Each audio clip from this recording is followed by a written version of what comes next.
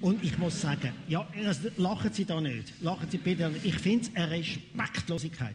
Am Sepp Blatter gegenüber, dass er sich überhaupt noch muss an einer Wiederwahl stellen.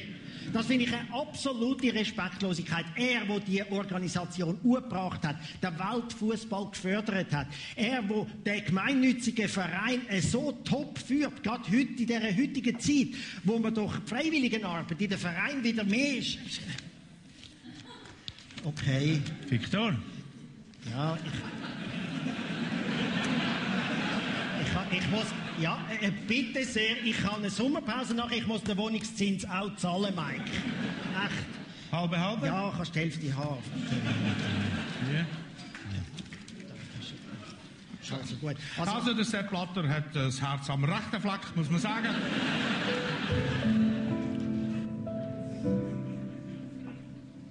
Man kann sie nicht total verbessern, aber mach doch diese Welt, make the Welt a better place.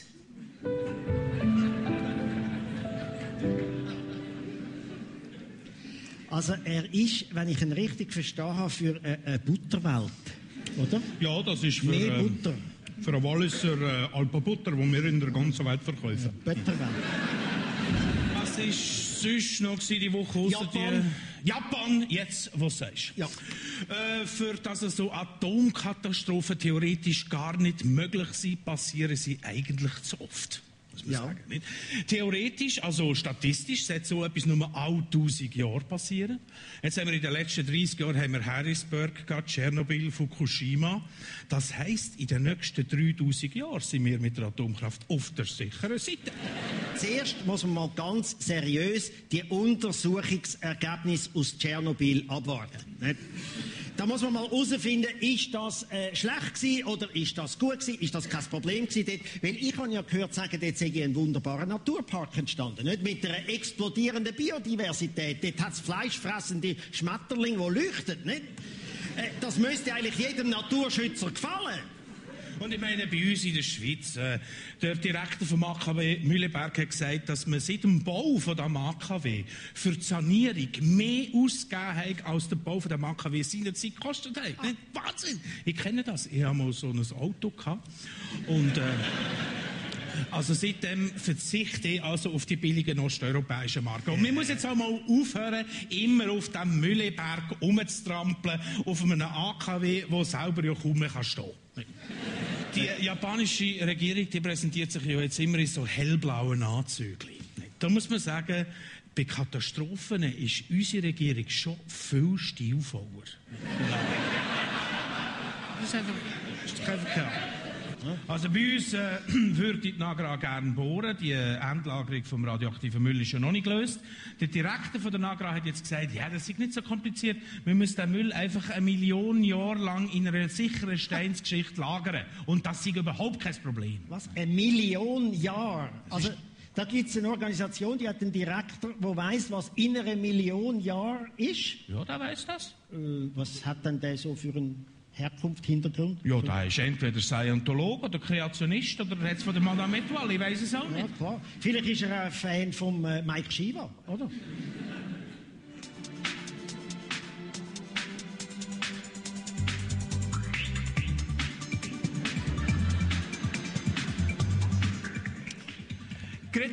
Und herzlich willkommen zu Mike Shiva. Freut mich, sind Sie dabei. Rund um die sind wir für Sie da, wenn Sie Fragen haben zu Liebe, Beruf, Finanzen oder auch Zukunft. Ich sehe gerade, wir haben einen Anrufer in der Leitung. Mike Shiva, hallo. Guten Abend, Herr Schiva. Ich bin vom Bundesamt für Energie und würde gerne wissen, wann die AKW Mühleberg und Betznau abgestellt werden. Mühleberg und Betznau. Und wie heisst du? Mein Name tut nichts zur Sache. Nichts zur Sache. Mühleberg und äh, Betznau sind die ein Paar. Nein, das sind Kernkraftwerke.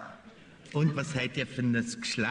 Nein, das Kernkraftwerk, ähm, sächlich. Ah, intersexuell. Hm? Ja, was sagen die Karten? Also ich sehe hier so ein Atomkraftwerk kostet pro Minute 3000 Franken. Da bin ich ja direkt preiswert. Und du willst jetzt eine günstigere Energieübertragung von mir. Nein, ich will nur wissen, zu welchem Zeitpunkt mit diesen Kraftwerken wirklich fertig ist. Weisst, manchmal muss man eine Beziehung einfach beenden, wenn es nicht mehr stimmt. Ich würde mal mit einem Therapeut reden.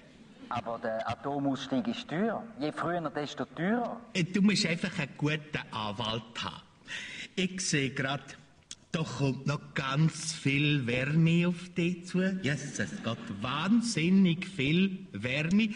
Also für eine lange Zeit, sicher noch 24.000 Jahre. Sagen Sie jetzt endlich, wenn der Ausstieg kommt. Schau, das ist die Karte von der Apokalypse. Du weißt, was das heißt? Ein Schweizer AKW explodiert. Wenn? Also vor den Wahlen im Herbst sicher nicht, das hast du ja auch wissen. Aber schau doch mal für einen Job bei der Solarindustrie. Und es würde mich gar nicht verwundern, wenn man in zehn Jahren würde sagen, dass die Umweltschützer das Fukushima völlig überinterpretiert haben. Halt, halt, das hat schon ein bisschen eine andere Dimension. Hermann, wenn ich nicht genau wüsste, dass du bis tief in dein innere Herz ein Bürgerlicher bist, würde ich jetzt sagen, du redest wie ein, wie ein Grüner. Aber Helion, Doch. es ist halt eine Tatsache, dass das Plutonium nicht ganz ungefährlich ist. Und darum jetzt auch die politische Diskussion. Das ist keine Diskussion mehr, das ist ganz ein hysterisches Geschrei. Und die Umweltschützer werden das Fukushima einfach für sich interpretieren und für sich instrumentalisieren. Sie würden vielleicht gescheiter mal ein bisschen nachdenken und vielleicht auch mal ein bisschen schwiegen. So wie der, wie heißt er da, der junge, sympathische Bauer aus dem Toggenburg? Äh, der Toni Brunner. Ganz genau. Das ist ja eine Wohltat, wenn er im Gegensatz zu allen anderen zu der Kernkraft vor allem schwiegt. Das ist eben noch ein richtiger Bauer. Bauern haben nämlich früher noch viel mehr geschwiegen. Meine Urgroßmama ist ja eine Grossbäuerin und sie hat sehr viel geschwiegen in ihrem Leben. Leider hat sie es nicht vererbt. Gut, ganz stimmt das ja jetzt nicht mit dem Schweigen von der SVP. Okay. Äh, sie sind jetzt drei Wochen in eine Klausur gegangen, sie sind zusammengeguckt, haben sich überlegt, wer ist die Schuld für die Probleme mit der Atomenergie. Ja, und dann haben sie zuerst gedacht, sind es Minarett?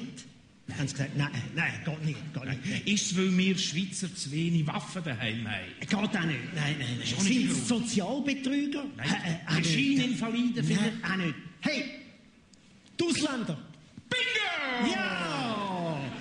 Das ist Ja, die sind schon natürlich, klar. Wir reden sofort nicht mehr von Zuwanderern, sondern von Stromverbrauch. Ja, ja, und Ausländer sind für mich Atomschmarotzer. Absolut. Ja. Zum Beispiel gibt es ja wahrscheinlich zwei, drei Ausländer, die auch jetzt unsere Sendung schauen, oder? Und mit dem äh, Sendung schauen brauchen sie wieder Elektrizität, wir brauchen das, Atom äh, das Atomkraftwerk wegen dem, oder? Sie, Ausländer, nix. Schauen, Fernsehen.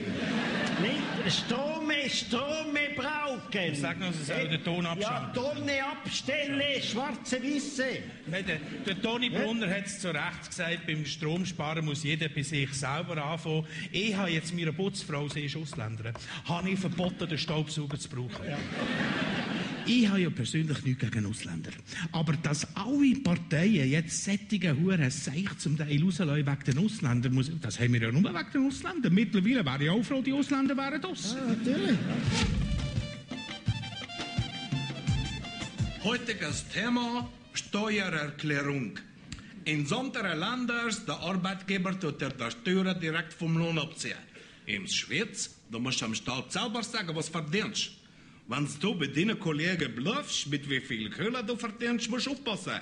Wenn das rauskommt, musst du nachher auch viel zahlen. Wenn es dir gleich ist, was deine Kollegen von dir denken, wenn du zurückgehst, ey, mit Geld, ich bin ein Loser, musst du nachher auch fast keine Steuern zahlen. Darum sind die Schweizer nicht gut im Bluffen. Und wir armen Scheiben aus dem Balkan, die nicht gut sind ins Bluffen, wir werden bei der Steuern abgezockt. Wurde raffiniert, aber schon ein bisschen rassistisch. Ich gehe sicher davon aus, dass die FDP wird den Felix Gutzwil wählen. Die FDP wählt den Felix Kurzwiller und nicht den Christoph Bloch. Ja, das muss man dann noch schauen. Da ist jetzt noch Diskussion im Gang. Ja, natürlich muss man schauen. Wäre jetzt gerade ein guter Moment zum Schauen. Wir, also wir würden helfen zum Mitschauen. Hat denn so ein Gesellschaftsliberaler, wie Sie sind, überhaupt noch eine Chance in dieser Partei? Ja, also ich fühle mich sehr wohl im Freisinn. Und da haben Sie recht. Ich bin der Ansicht, man sollte ab und zu ein bisschen mehr wagen. Also, Also, also, also finde ich schon mal nicht schlau. Es Es ist ein Ansatz. natürlich auch heimlich aufs Glatte. Ich nehme Ja, ja, einen Kaffee mit Creme. Wir machen jetzt eine Initiative, Bürokratieabbau-Initiative. Die machen wir ganz speziell für die Sendung. Weil wenn die angenommen wird, dann muss der Mike Müller das Protokoll nicht mehr schreiben und niemand liest. mehr, das ist Genau, und dann ist er überflüssig, hast du eine schlänkere Sendung. Oh, ja, schlenker. Die CO2-Abgabe, die ganze Diskussion ist ja relativ umstritten in der Schweiz, ist ja im Parlament verhandelt worden, ist sehr kompliziert. Und äh, in solchen Momenten ist man einmal wieder froh ums Fernsehen. Hast du die Arena gesehen vor 14 Tagen? Dort ist endlich mal genau erklärt worden, wie das ist mit dem CO2. Sie kostet ganz klar mehr. Und das ist jetzt nicht so. interessant. Jetzt muss ich noch schnell, nein, jetzt muss ich, jetzt muss ich noch schnell auf ihn reagieren. Jetzt muss ich noch schnell, nein, jetzt muss ich auf ihn reagieren. Der Herr Jans hat noch gesagt, nein, bitte, er dürfen zwei Argumente. Tja. Was die Parteien aber alle gleich haben, alle sind in letzter Zeit grün. Ein Atomkraftwerk erzeugt viel Energie, vor allem wenn es kaputt geht. Da geht ein Energieschub um die ganze Welt. Einige Parteien werden dadurch richtig angetrieben. Dafür geht anderen die Puste aus. Das ist so bei Wechselstrom. Da sind nicht immer die gleichen dran. Aber überall wird die freigesetzte Energie in Denkarbeit investiert. Dabei finden unsere Parteien heraus, dass sie schon immer gegen Atomstrom waren. Es ist ein Rätsel, wo die AKWs alle herkommen. Die wollte gar niemand. Wenn wir den erwischen, der uns die Dinger hingestellt hat. Unsere Parteien lernen wir jedenfalls neu kennen. Da gibt es die Grünen, die Grünliberalen, die Grünsozialen, die Grünfreisinnigen, die Grünbürgerlichen, die Grünchristlichen und die Volksgrünen haben die Solarenergie immerhin im Logo. Wir sind eine Ökonation. Die AKWs sind eher als Brauchtum zu verstehen. Was würde der Heimatschutz sagen, wenn wir das hübsche Ortsbild von Niedergösgen so drastisch verändern würden? Zudem setzt sich die Schweiz aus humanitärer Tradition für die Kleinsten ein. Diese armen Atömli können ja nichts dafür. Aber für erneuerbare Energien sind jetzt alle, außer wenn sie Staumauern, Windräder oder Solarpanels benötigen.